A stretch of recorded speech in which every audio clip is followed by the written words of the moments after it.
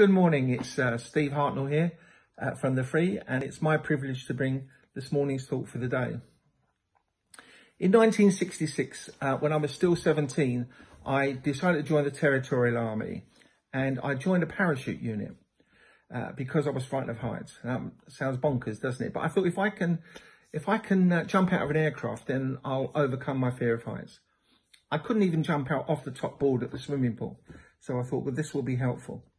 And so I did all the, the, the, the, pre things that you have to do. I went down to Aldershot on weekend after weekend after weekend, doing the marches, the log race, the gymnasium, the, the, uh, the parachute assault course and passed all of that. And so in March 1966, I was going on my parachute course. I was supposed to go with two friends, but one unfortunately broke his arm and the other one was found to be colorblind.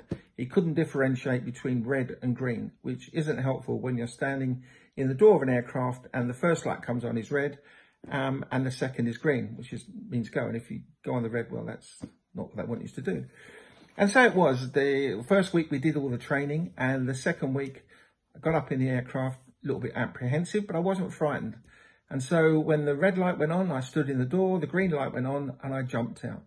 And although I was apprehensive, I knew all the things that I had to do. I looked up, my parachute canopy was good. I looked down, I got my legs together, my elbows together, and I jumped and fell and landed safely. And so then we did a, another seven jumps that week. And so I came home proudly with the wings uh, sewn on my uniform. So that's one kind of fear. Uh, we have fears and phobias, don't we, about different things. But what does it mean to fear the Lord? Um, part of the answer lies in Proverbs 9, um, 9 verse 10, which says this, the fear of the Lord is the beginning of wisdom. Almost the opposite of, of wisdom overcomes fear. There, here, the fear of the Lord is the beginning of wisdom. And it goes on to say, and knowledge of the Holy One is understanding. And so, the more we know about God, the more we understand who he is, uh, the more we come to into a better relationship with him, with the intimacy of God. Um, in, in the beginning of John, it says that Jesus is the word of God. And so to understand who God is, we need to understand who Jesus is. And he, for us, was the perfect, um, the perfect example of how to live uh, a holy life. And so we try, don't we? We try to do our best to lead this holy life. And we fail often, but the grace of God, if we come and humble ourselves and ask for forgiveness, then we can start again. It's not an excuse, of course, to continue to do things wrong, um, but it's all, it, it's helpful in order to keep keep us doing the things that, that are good.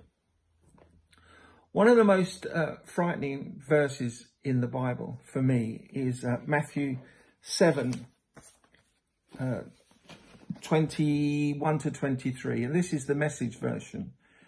It says, knowing the correct password, in other words, saying master, master, for instance, isn't going to get you anywhere with me.